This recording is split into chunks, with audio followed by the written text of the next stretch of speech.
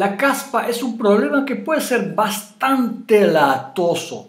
La primera cosa que podemos hacer contra la caspa es cambiar nuestro peine por un cepillo. A diferencia de un peine, el cepillo da un masaje a nuestra piel de la cabeza y ayuda a la microcirculación de la sangre. Y también elimina la posibilidad de que un hongo o una levadura se establezcan ahí y hagan su desbarajuste. ¿Cómo dices? Ya me hizo mi desbarajuste en la cabeza porque se me están cayendo pedacitos. Pero no entiendo, ¿es el hongo o, es la piel o qué es? ¿No serán pedazos de mi cerebro?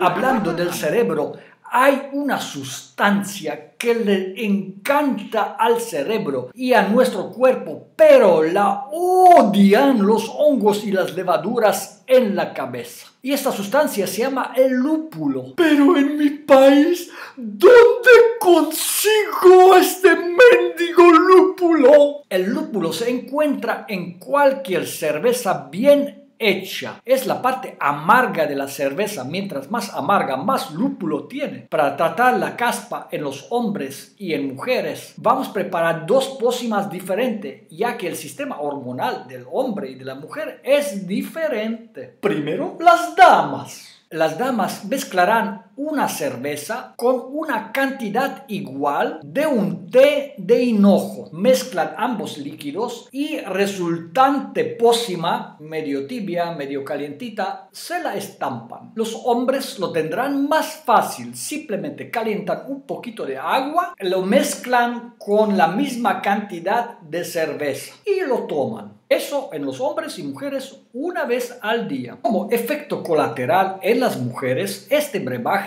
ayudará a resolver problemas de cambios hormonales en el climacterium y también puede disminuir los dolores durante la menstruación. En general, renueva el funcionamiento del sistema hormonal del cuerpo y en los hombres equilibra la vitalidad en general. Calma los nervios. Sobre todo los que hacemos muchos negocios y estamos muy nerviosos. En cuanto al cabello, vamos a preparar un enjuague de té de ortiga, que es el que favorece el crecimiento de nuevo cabello. Y también podemos mezclarlo con té de cola de caballo. Ambas plantas combaten los hongos y las levaduras y ayudan a la piel a recuperarse, revitalizarse y eliminarlos de su superficie. Como tercer remedio debemos de asegurarnos de incorporar a nuestra comida bastante cebolla y ajo ya que ambas plantas contienen azufre, elemento que odian los hongos y las levaduras. Si te pareció útil este video, compártelo, ponle clic en me gusta, suscríbete a mi canal si todavía no estás inscrito